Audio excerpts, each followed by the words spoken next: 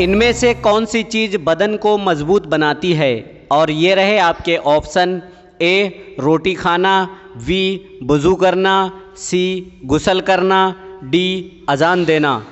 और आपका वक्त शुरू होता है अब।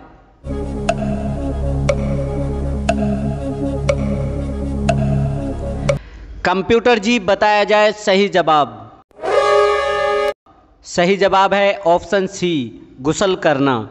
चार चीज़ें इंसान के बदन को ताकतवर बनाती हैं। नंबर एक, गोश्त खाना। नंबर दो, खुशबू सूंघना। नंबर तीन, गुसल करना। नंबर चार, कतान का कपड़ा पहनना। खाना खाने के बाद हाथ नहीं धोया तो क्या होगा?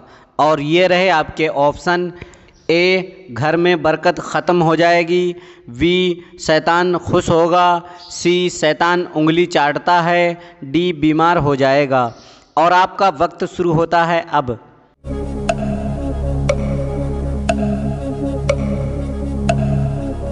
कंप्यूटर जी, बताया जाए सही जवाब।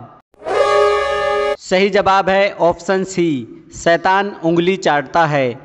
खाना खाने के बाद अगर बंदा हाथ को नहीं धोता है तो शैतान उसकी उंगलियों को चाटता है और खुश होता है, क्योंकि शैतान के पेट में खाना चला जाता है। गुसल खाना यानी बाथरूम में पेशाब करना कैसा है? और ये रहे आपके ऑप्शन। ए, गरीबी आती है। बी, बसबसे आते हैं। सी, बुरा खात्मा होता है। डी, कुछ नहीं होता है। और आपका वक्त शुरू होता है अब।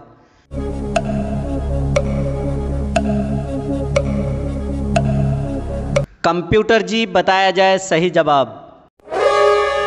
सही जवाब है ऑप्शन बी, बस बसे आते हैं। जो शख्स गुसल खाने में पेशाब करता है, उसे बस बसे या बुरे ख्याल ज़्यादा आते हैं और शैतान ऐसे शख्स को ज़्यादा बहकाता है और इससे घर में नहूसियत भी आ जाती है। आसमानी किताबें कितनी हैं? और ये रहे आपके ऑप्शन ए, एक, बी, दो, सी, तीन, डी, चार। और आपका वक्त शुरू होता है अब।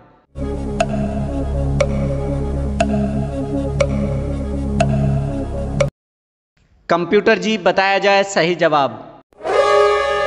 सही जवाब है ऑप्शन डी, चार। भारत का सबसे पहला मुसलमान कौन था? और ये रहे आपके option A, Manohar, B, Dayanand, C, Barhan, D, Ratan. और आपका वक्त शुरू होता है अब।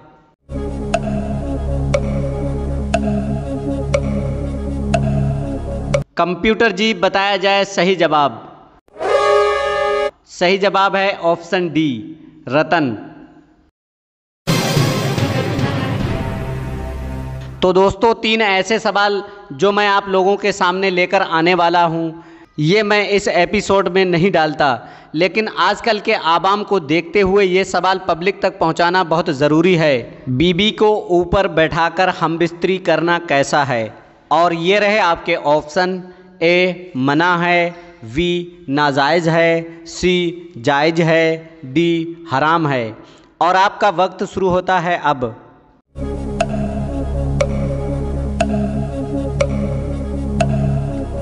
कंप्यूटर जी, बताया जाए सही जवाब।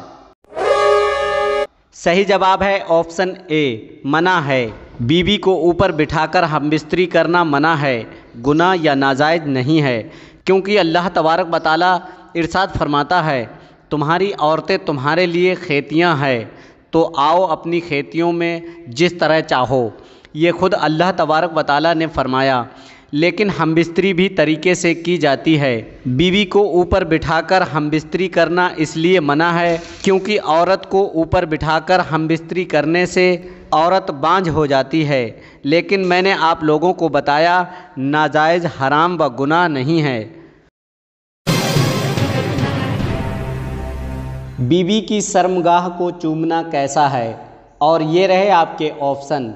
ए मकरू है। बी नाजायज़ है सी हराम है डी गुनाह है। और आपका वक्त शुरू होता है अब।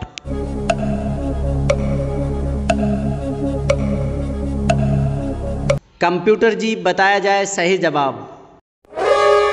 सही जवाब है ऑप्शन बी नाजायज़ है।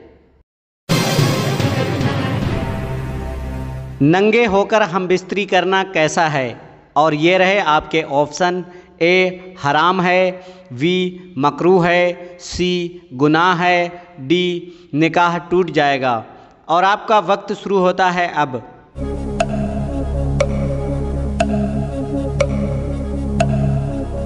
कंप्यूटर जी, बताया जाए सही जवाब। सही जवाब है ऑप्शन बी, मकरू है। दोस्तों, अब सवाल आ गया है आप लोगों के कमेंट करने का। तैयार हो जाइए और इस सवाल का जवाब मैं आप तमाम लोगों से पूछना चाहता हूँ। हुजूर सल्लल्लाहु अलैहि वसल्लम का रोज़ा मुबारक कहाँ पर है? और ये रहे आपके option A, Mecca Sharif, B, Medina Sharif, C, मुल्क शाम, डी, तुर्की। आप तमाम लोग इस सवाल का सही जवाब कमेंट बॉक्स में दें। देखते हैं कितने लोग इस सवाल का सही जवाब दे पाते हैं। हम लोग रोज़ाना आप लोगों की खिदमत में इसी तरीके का एक नया एपिसोड सात बजकर तीस मिनट पर रोज़ाना लेकर हाजिर होते हैं। तो आप लोग रोज़ाना सात बजकर तीस मिनट पर हमारे चैनल दिन की बातें पर आ जाया करें। इस वक्त में हमारे चैनल पर लाइव एपिसोड चलता है। आप तमाम लोग लाइव में आइए। बड़ा मज़ा आता है जब आप लोग कमेंट करते हैं। और प्यारे दोस्तों, अगर हो सके तो इस एपिसोड को लाइक करके अपने कुछ करीबी लोगों में शेयर ज़रूर करें। क्योंकि अच्छी बातें सुनकर आगे पहुंचाना सदका जारिया है।